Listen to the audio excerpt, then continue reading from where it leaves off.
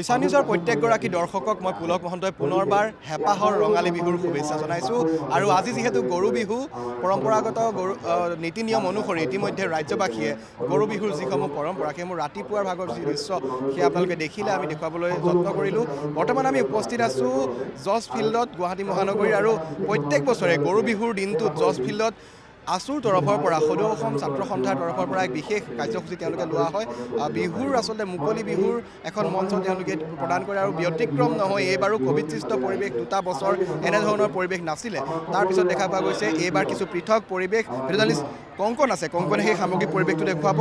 এয়া হৈছে জজ ফিল্ডৰ জজ খেলপথাৰ আচলতে যি সদৌ অসম গুৱাহাটী ছাত্ৰ সন্থাৰ উদ্যোগত যি মুকলি বিহু অনুষ্ঠান সেই অনুষ্ঠানৰ বাকৰি আৰু বাকৰিৰ কিছু দৃশ্যাংশ দেখুৱাই আছোঁ। ইতিমধ্যে বিভিন্ন কাৰ্যসূচী ইয়াত চলি থকা হৈছে। পুৱাৰ পতাকা উত্তোলন কাৰ্যসূচীৰে শুভাৰম্ভণি হৈছিলে আৰু তাৰপিছতে দেখিব দেখা পোৱা গৈছে বিভিন্ন বিহু দলসমূহ বা বিভিন্ন সাংস্কৃতিক দলসমূহে আহি তেওঁলোকৰ নৃত্য প্ৰদৰ্শন কৰিছে। সমান্তৰালভাৱে লোকে লোকাৰণ্য হৈ পৰিছে এই মুহূৰ্তত। ইয়াৰ পৰিৱেশ সেই দৃশ্যাংশ দেখুৱাই আছে জাৰ্নেলিষ্ট কংকনে।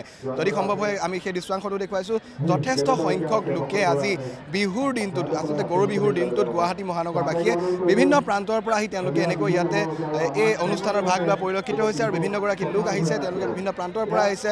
পৰিয়ালৰ সৈতে যান্ত্ৰিকতাৰ মাজত চহৰত তেওঁলোকে এনেকৈ বিহু উদযাপন কৰা পৰিলক্ষিত হৈছে। আমি দৃশ্যাংশ দেখুৱাই আছোঁ কংকনৰ সহযোগত উদ্যোক্তাসকল আছে যিহেতু সদৌ অসম ছাত্ৰ সন্থাৰ গুৱাহাটী ছাত্ৰ সন্থাৰ তৰফৰ পৰাই যিহেতু আয়োজন কৰা হৈছে এই বিশেষ অনুষ্ঠানটো গতিকে যিসকল উদ্যোক্তা আছে যিহেতু যিগৰাকী সাধাৰণ সম্পাদক তেখেতো ইয়াত উপস্থিত আছে।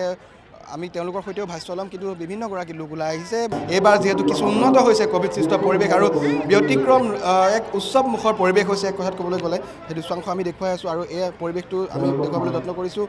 আৰু এই মুহূৰ্তত আমি সেই দৃশ্যাংশ দেখুৱাইছোঁ বিভিন্নগৰাকী লোক ওলাই আহিছে। গুৱাহাটী মহানগৰীৰ বিভিন্নগৰাকী লোক ওলাই আহিছে। সেই দৃশ্যাংশ আমি দেখুৱাইছোঁ আৰু বিভিন্ন অনুষ্ঠান ইতিমধ্যে চলি আছে। কণ কণ শিশুসকলৰ পৰা আৰম্ভ কৰি জেং বিহু সকলো অনুষ্ঠানে ইয়াত যিহেতু হ'ব পুৱাৰ ভাগতে কেইবাটাও কাৰ্যসূচী ইতিমধ্যে সম্পন্ন হৈছে।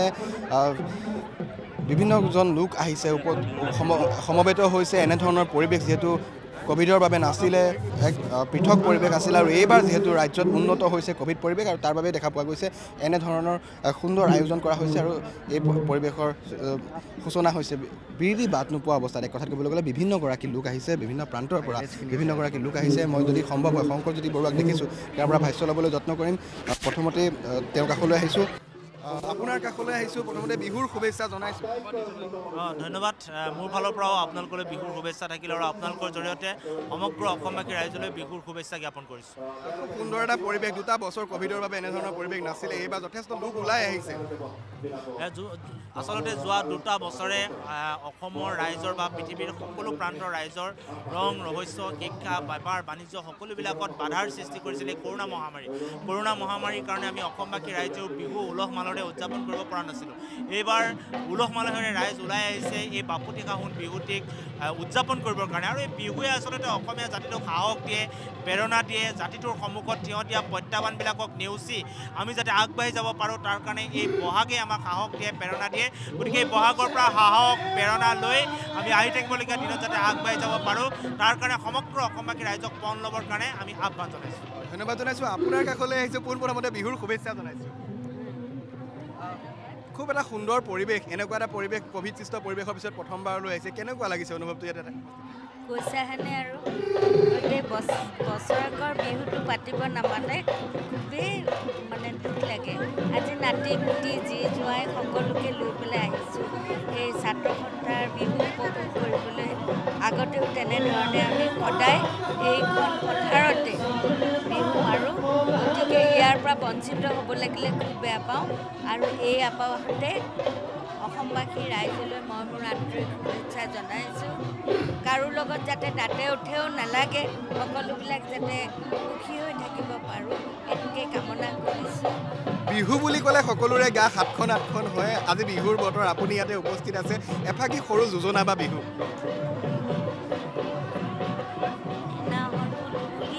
বতৰ সমনীয়া কপৌ ফুল ফুলি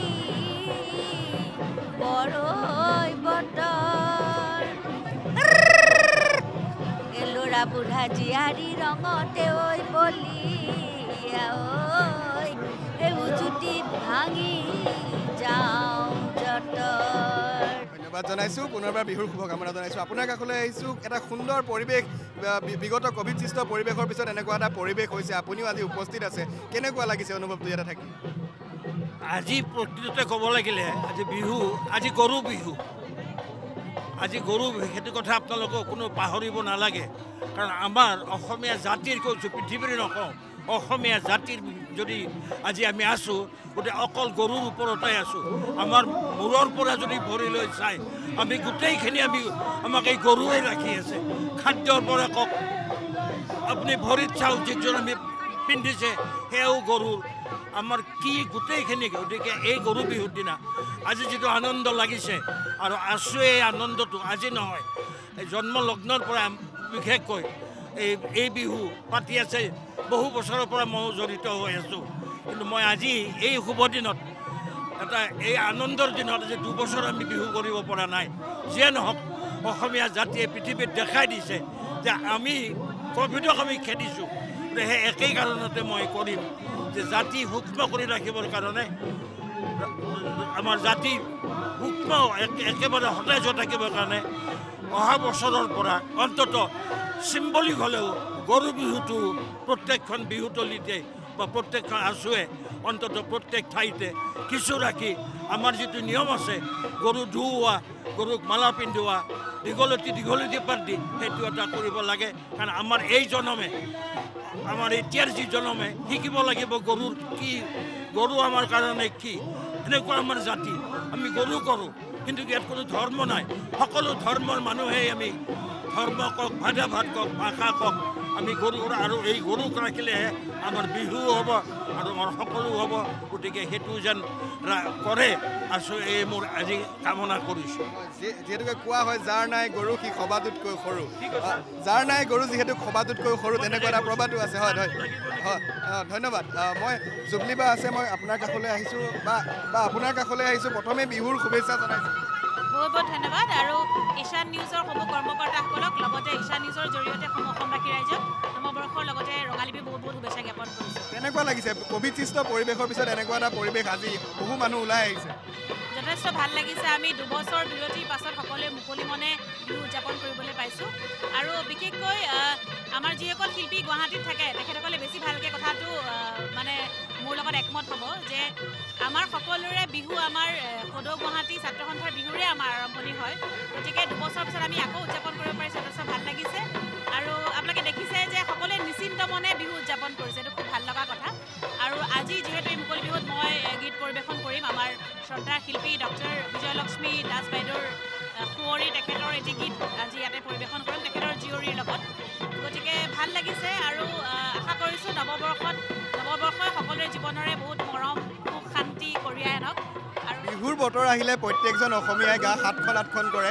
আজি বিহুৰ গৰু বিহুৰ দিনটোত এনেকৈ আছে বহি এফাকি যোজনা বা সৰু বিহু কলি এটা। আপোনালোকে ইতিমধ্যে শুনিছে যে বেকগ্ৰাউণ্ডত আমাৰ বিহু বাজিয়ে আছে। তথাপি অকণমান গাই দিছোঁ মোৰ শেহতীয়া এটি বিহু। ঘাটতে দেহা বথানো বাও যেতিয়া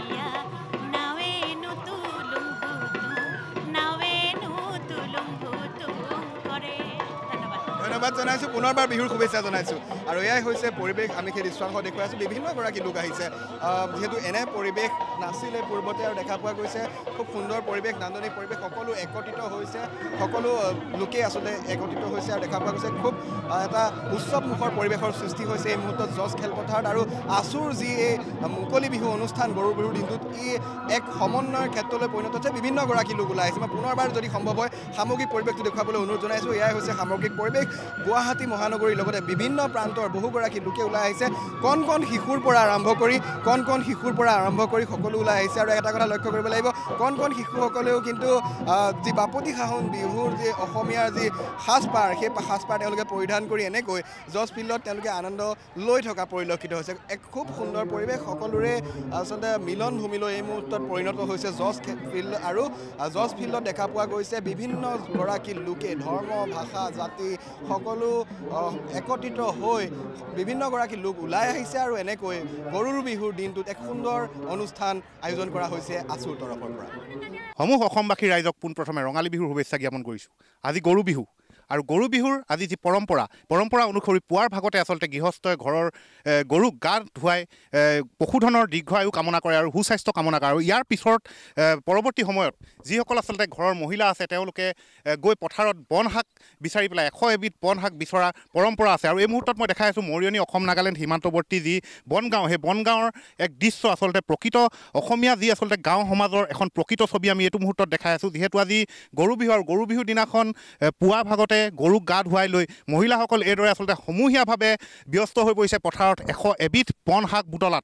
সতীৰ্থ দেখাই আছে সমগ্ৰ পৰিৱেশ আৰু আমি যিসকল মহিলাই আচলতে এতিয়া এশ এবিধ শাক তেওঁলোকে বিচাৰি আছে তেওঁলোকৰ সৈতে কথা পাতিম পোনপ্ৰথমে। পোনপ্ৰথমে বাইদেউ আপোনাক ৰঙালী বিহুৰ শুভেচ্ছা জ্ঞাপন কৰিছোঁ। ধন্যবাদ। যিহেতু এক পৰম্পৰা আছে যে এশ এবিধ শাক গৰু বিহুৰ দিনা তোলা হয় বা খোৱা হয় কি কি শাক আপোনালোকে আজি তুলিছে?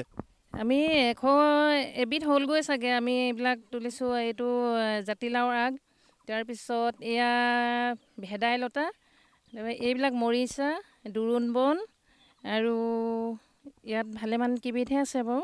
যিহেতু দুটা বছৰ অন্তৰালত আচলতে মন খুলি অসমবাসীয়ে উদযাপন কৰিবলৈ পাইছে হেঁপাহৰ ৰঙালী বিহু কেনেদৰে প্ৰস্তুতি চলাইছে আপোনালোকে বহুত ভাল লাগিছে। যোৱা দুটা বছৰ আমি বহুত দুখেৰে দিনবিলাক কটালোঁ। এই বছৰ মানে একেবাৰে মুকলি মনেৰে কোনো বেমাৰ আজাৰ নোহোৱাকৈ আমি বিহুৰ প্ৰস্তুতি চলাব পাৰিছোঁ। আমি চিৰা সান্দহ পিঠা সকলোবিলাকে কৰি আমি প্ৰস্তুত হ'লোৱে আৰু ইতিমধ্যে। যিহেতু এতিয়া বহাগৰ বতৰ এই বহাগৰ বতৰত আপোনালোকৰ পৰা সকলোৰে পৰা এটা বিহুৰ কলি শুনিবলৈ আমি ইচ্ছুক। হয়। ৰৈ ৰৈ ৰতি মৈনামতি হাবিলৈ মই গৈছিলোঁ। ৰৈ ৰৈ ৰতি মৈনামতি কটাৰীখন নিনিলোঁ ৰৈ ৰৈ ৰতি মৈনামতি লতাইনো বেৰি বেৰি লতাইনো বেৰি বেৰি ধৰে। হেই হেই ৰৈ ৰৈ ৰতি মৈনামতি বিহুলৈ মই গৈছিলোঁ। ৰৈ ৰৈ ৰতি মৈনামতি সাঁচতিখন নিনিলোঁ ৰৈ ৰৈ ৰতি মৈনামতি সমনীয়াই বেৰি মোক সমনীয়াই বেৰি মোক ধৰে। এয়া আচলতে অসমীয়া কৃষ্টি অসমীয়া সংস্কৃতি আৰু এয়া নীতি আৰু এইখিনিতে এজন জ্যেষ্ঠ লোক আছে এখন গাঁৱৰ আমি তেখেতৰ সৈতে কথা পাতিবলৈ চেষ্টা কৰিম। পোনপ্ৰথমে আপোনাক ৰঙালী বিহু শুভেচ্ছা জ্ঞাপন ধন্যবাদ। ময়ো আপোনালোকলৈ ৰঙালী বিহুৰ শুভেচ্ছা জ্ঞাপন কৰিছোঁ। আজি বিশেষকৈ গৰু বিহু এই গৰু বিহুৰ দিনটো আমি খুব উলহ মালহেৰে পালন কৰিছোঁ। যিহেতু দুটা বছৰ আমি কৰোণাৰ কাৰণে কোনো বিহু অনুষ্ঠিত কৰিব নোৱাৰিলোঁ। এ, আজিৰ এই দিনটোতে আমাৰ এশ এবিধ শাক খোৱা এটা প্ৰথা আছে। আচলতে এই এইবিলাকৰ বন শাকৰ যথেষ্ট গুণাগুণ আছে। এশ এবিধ বুলি নহয় প্ৰায় এশ বিছবিধমান শাক খাব পৰা যায়। ইয়াৰে ভিতৰত গৰু বিহুৰ দিনাখন আমি এশ এবিধ শাক খাওঁ আৰু এইটো আমি পৰম্পৰাটো ধৰি ৰাখিছোঁ আৰু ভৱিষ্যতে ধৰি ৰাখিবলৈ আমি চেষ্টা কৰিম। ময়ো আমাৰ মহিলাসকলৰ লগতে কেইটামান তেওঁলোককো শাক বুটলি মই সহায় কৰোঁ। কিছুমান যুৱকে আমলৰি টোপ পাৰি আছে। গতিকে গৰুকো আমি গধূলি সময়ত আমি বিভিন্ন ধৰণৰ গছপাত আনি গৰু গোহালিত জাক দিম যাতে বছৰটোৰ কাৰণে মহৰ পৰা মুক্ত হৈ থাকে। যিহেতু বহাগৰ বতৰ বিহু এফাকি আপোনাৰ পৰা শুনিবলৈ আমি। ঐ আকৌ হেৰা বিয়নী ঐ কি খাই মৰিলে? বিয় হেৰা বিয়নী ঐ কি খাই মৰিলে? কি খাই মৰিলে বিয়? ঐ শিঙৰা জানতে ডিঙৰা পাতোতে চেপাত লাগি মৰিলে। বিয় হেৰা বিয়নী ঐ কি খাই মৰিলে? কি খাই মৰিলে বিয়? হয় ধন্যবাদ। আৰু এইদৰে এতিয়া দেখিবলৈ পোৱা গৈছে সমগ্ৰ ৰাজ্যতে এতিয়া এইদৰে পাৰ ভগা উৎসাহ কিয়নো দুটা বছৰৰ অন্তৰালত আচলতে অসমবাসীয়ে মন খুলি উদযাপন কৰিবলৈ পাইছে হেঁপাহৰ ৰঙালী যি বুকুৰ অসমীয়াৰ স্পন্দন স্বৰূপে ৰঙালীক উদযাপন কৰিবলৈ কিন্তু এইবাৰ অসমীয়াই কোনো শ্ৰুতি এৰা নাই আৰু প্ৰত্যেকজন অসমীয়া এটা ব্যস্ত ৰঙালীক আদৰাত। আজি গৰু বিহু। আজি গৰু বিহুত অসমীয়া সমাজে এশ এবিধ শাকেৰে খোৱা এক পৰম্পৰা আছে আৰু সেই পৰম্পৰা ৰক্ষা কৰিবৰ কাৰণে বোকাখাটৰ এখন হোটেল বিশেষকৈ ৰহেদৈ নামৰ হোটেলখনে ব্যৱস্থা কৰিছে। ৰহেদৈ নামৰ হোটেলখনে ব্যৱস্থা কৰিছে এশ এবিধ শাকৰ ব্যঞ্জনৰ এসাঁজ খোৱাৰ। আমি দেখুৱাবলৈ চেষ্টা কৰিম। আমাৰ ভিতৰৰ পৰিৱেশ দেখুৱাম এইখনে ৰহেদৈ হোটেল বোকাখাটৰ বিভিন্ন লোকে বা অসমৰ বিভিন্ন লোক হিমুৰ পৰা হিমুলৈ যাত্ৰা কৰোঁতে এই ৰহদৈ হোটেলে এসাঁজ তৃপ্তিৰে খাই যায় আৰু ৰহদৈ হোটেলৰ এক বৈশিষ্ট্য আছে যে ৰহদৈ হোটেলত অসমীয়া থলুৱা খাদ্য পোৱা যায় আৰু এই হোটেলখনতে গৰু বিহুৰ কাৰণে বিশেষভাৱে আয়োজন কৰিছে এক ব্যঞ্জনৰ ব্যৱস্থা। এই ব্যঞ্জন হৈছে এশ এবিধ শাকৰ ব্যঞ্জনৰ ব্যৱস্থা। ইয়াত কি কি আছে আমি ভিতৰত গৈ আমি দেখুৱাবলৈ চেষ্টা কৰিছোঁ। অঁ আমি এই পাইছোঁহি। এশ এবিধ শাকৰ ব্যঞ্জন প্ৰস্তুত কৰিবৰ কাৰণে ৰহদৈ হোটেলৰ স্বত্বাধিকাৰীয়ে এনেধৰণে ব্যৱস্থা কৰিছে। ইয়াত কি কি আছে এফালৰ পৰা যদি আমি কৈ যাওঁ এশ এবিধ শাক আমাৰ সময় বহুত লাগিব। তথাপিও আমি যি পাইছোঁ তাকে কৈ যাম। সকলো আছে ইয়াত। আমি যিমান দেখিছোঁ ইয়াত কেৰেলা দেখিছোঁ সৰু সৰু। তাৰ লগতে আছে সৰু মানিমুনি বৰ মানিমুনি মচুন্দৰী নৰসিংহৰ তিতা ভেকুৰী পনৌনোৱা ভেদাইলতা ঢেকীয়া তিতামৰা টেঙেচি চজিনা কালমেঘ জিলমিল শাক আছে। কচুথুৰি আছে কলমৌ শাক আছে কেহেৰাজ আছে খুতৰা শাক আছে তাৰপিছত গাজৰ আছে লাই জাবৰি।